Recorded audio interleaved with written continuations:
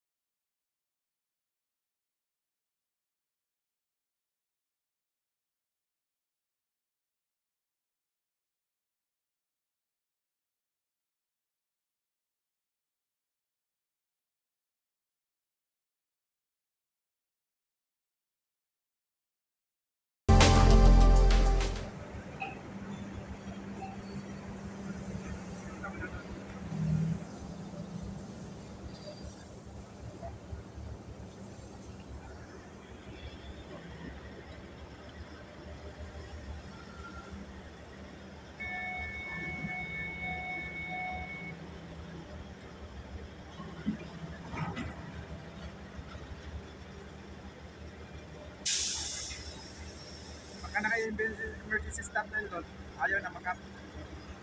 Kailangan pinutin mo packet. Down.